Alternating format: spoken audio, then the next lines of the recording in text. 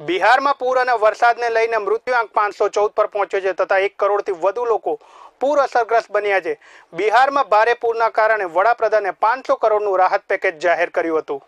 મુખ્યપ્રધાન નીતિશ કુમારે video conference કરીને તમામ જિલ્લા અધિકારીઓ સાથે સમીક્ષા બેઠક કરી હતી અને મહત્વના નિર્દેશ કર્યા હતા. ઓગણીસ જિલ્લાના એકસો ને સિત્યાસી ભાગમાં એક પોઈન્ટ એકોતેર કરોડ લોકો પૂરથી પ્રભાવિત છે. બિહારના મુખ્યપ્રધાન નીતિશ કુમારે પૂરની પરિસ્થિતિનો તાગ મેળવવા માટે હવાઈ નિરીક્ષણ પણ કર્યું હતું. નેપાળમાં છેલ્લા કેટલાક દિવસથી ભારે વરસાદને કારણે બિહારના સરહદી જિલ્લાઓમાં પૂરની સ્થિતિ છે. બિહારના આઠ જિલ્લા અને દસ લાખ લોકો પૂરથી પ્રભાવિત થયા છે. જ્યારે એક લાખ લોકો તો ભેગર બન્યા છે. હવામાન વિભાગ આગામી બે દિવસ સુધી હજુ ભારે વરસાદની આગાહી વ્યક્ત કરી છે. બિહારના સુપોલી સહિતના જિલ્લાઓમાં પૂરના કારણે કેટલાક ગામડાઓમાં ઘરે જમીન સમાધિ લઈ લીધી છે.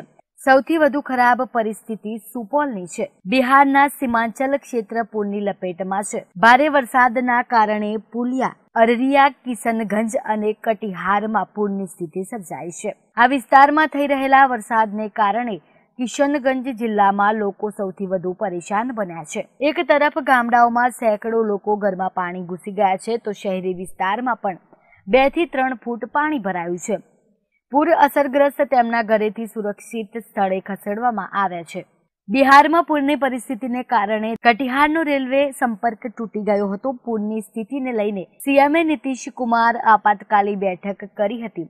તેમજ ફોન પર વડાપ્રધાન નરેન્દ્ર મોદી સાથે વાત કરી હતી.